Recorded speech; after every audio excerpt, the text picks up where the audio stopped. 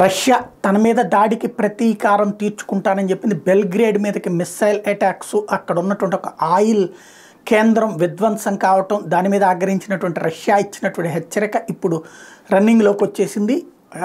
ఉక్రెయిన్లో ఉన్నటువంటి కీలకమైనటువంటి పట్టణాల మీద ఏకకాలంలో మిస్సైల్స్తో దాడులతో విరుచుకుపడింది. ఈ సందర్భంగా పలు భవనాలు ధ్వంసమైనవి ఆస్తులు ధ్వంసమైనవి మనుషులు ప్రాణాలు కోల్పోయారు.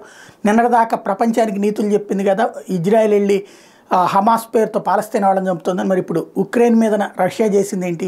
ఇది చేస్తే నీతి అది చేస్తే బూత్ అనమాట Russia unleashed a mass strike on Ukraine killing at least four people and injuring over sixty Russian missiles targeted Ukraine's two largest cities Kyiv and Kharkiv Kyiv's mayor said that thirty apartment buildings were damaged in the strikes officials added that several apartments and non residential buildings had caught fire ఇది ఓ పక్కన భవనాలు కూలిని ఎంతమంది దెబ్బతిన్నారన్నది కరెక్ట్గా చెప్పలేరు. ఫైనల్గా నష్టం తీవ్ర స్థాయిలో జరిగింది కార్క్యూలో కియూలో. కానీ ఈ మొత్తానికి కారణమైనటువంటి రష్యా ఎదురోళ్ళు మాత్రం ఉక్రెయిన్ వ్యవహారంలో తను చేసేది కరెక్ట్ అంటుంది.